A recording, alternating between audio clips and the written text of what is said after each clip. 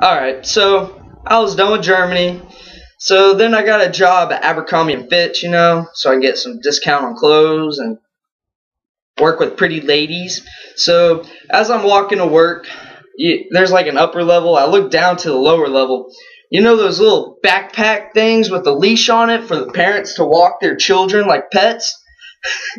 This short, chubby kid, he was jetting like he's you know those little toy car stands in the bottom. He was jetting to it. His mom, he's like walking. She got jerked. She straight boom hanged him back. He's like, oh.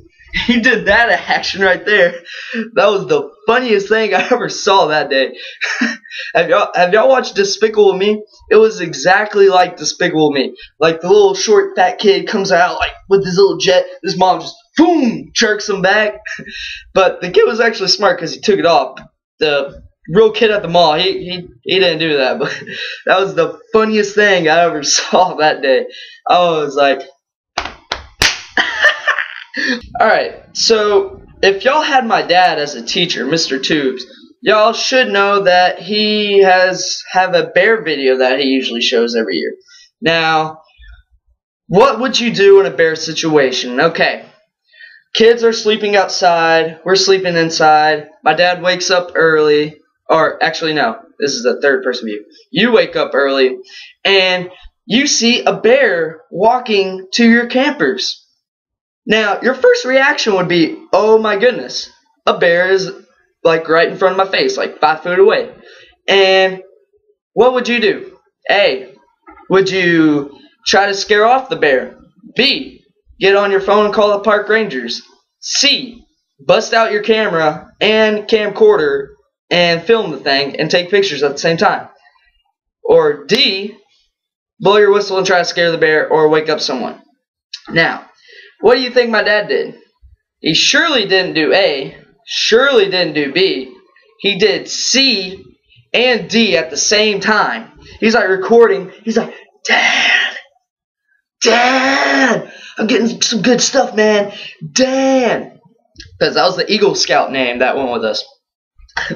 so the bear gets up to the council that was sleeping outside with kids, bites his leg like, not a whole, like, rocks. Just a little baby nibble, you know, just a little nibble nibble. Just, just like that. And he bites his leg. What? That would be some crazy stuff. Wake up to a bear around your leg. he blows a whistle, the bear runs off. And my dad has pretty good footage of the bear, and he's just like big and huge. And my dad actually made the news he wasn't in the news, but his video made the news. It was on CNN and some other national networks.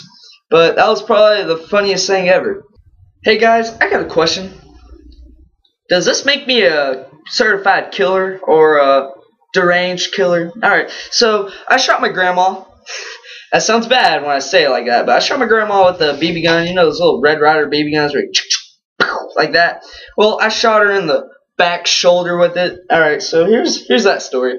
I was walking, I was in the woods playing in my fort with my cousins, and I was pretending I was in the Navy SEALs or the Marines or Black Ops or Air Force or whatever military, if you're military, whatever group you're in. I was pretending I was in all of them, so I pretended like I was Jesus on the battlefield. So I was just like, alright, target in sight.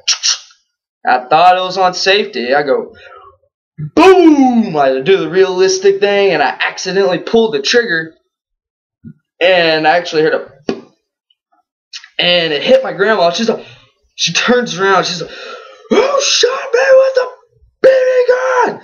She's furious. I was like, "Oh my gosh, I am so dead." I dropped the gun. I'm jetting. I'm like, "Oh my god." Oh, don't play with guns, kids. Don't play with guns. So my my dad gets me, puts him, puts me in his room, and he's like, he's he's cooling off because he was really really angry about the situation, and he takes me to jail. He's like, Andrew, I called 911, man. They said I gotta take you to jail. So this was Christmas Eve too. You gotta remember that. Christmas Eve. I'm going straight to the Dayton police area, and I didn't really go to jail, but I say I did because it sounds cool, you know, because I'm a rebel. No, no, I'm not. But anyway, I get talked to by this policeman about gun safety and how you shouldn't play with guns and yeah, yeah, yeah. I mean, this isn't this ain't a yeah, yeah situation. I mean, don't don't shoot people, kids. Don't shoot people. It's bad. But then later, me and my dad laughing about it on the ride back home, and my dad's like, "Hey, it'd be funny if they actually thought you went to jail." So I hid in my neighbor's yard for like ten minutes, and my grandma and my cousins actually believed I went to jail. I pop, I sneak in the house. I'm like, "Yeah, Toups is back all day, every day, one bed, no blanket, one pillow, really cold. I wake up, I took a nap. You ever been night night? You ever been night night?" I was, I did a Kevin Hart right there. I was like, I was laughing, and I was like, yeah, I prison breaked out of that. I was a Michael Scofield. Chance, if you're watching, shout out to that. All right. So, the uh, real true meaning of this story is don't shoot your grandma with the BB gun, or else you might go to jail. And don't play with guns, because you might actually shoot something that you intend not to shoot at. Alright, guys my last story. It's not going to be the best one, but it's up there in the funny column.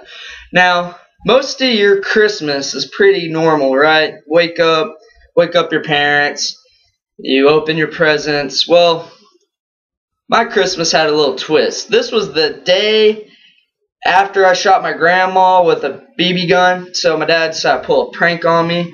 So, what I get for Christmas was math books rulers, pencils, school supplies pretty much. I was really, really pedo. I was furious. Like, I just started opening. I was like, yeah, a lot of presents for me. I opened. I was like, I picked one. I was like, oh man.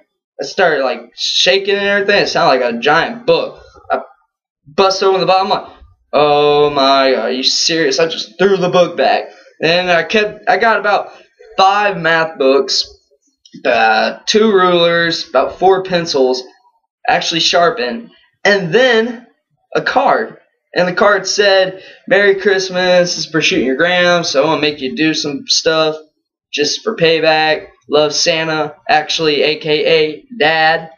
So I did about five math problems during Christmas.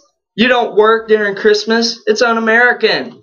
It's opposite American, it's Chinese. They work all the time. They don't do anything but work and make stuff for us Americans so we can be lazy and don't have to do it. So I do my math problems and then I had to go on a scavenger hunt. Who does that? I have to go on a scavenger hunt. I went from the tree, living room, my room, laundry room, living room, back to the tree, fireplace, out to my mailbox, back inside, laundry room, to the fridge, back to the laundry room, to the car, from the car to my dad's room. I finally got my presents, and I got a bike, and that's pretty much all I remember was the bike. And that bike is broken right now, so yeah. But I hope y'all liked my video, guys. I love y'all. If I don't know you, I still love you. I hope y'all have a very nice rest of the year. Jesus real. God bless. Love y'all. And please comment back.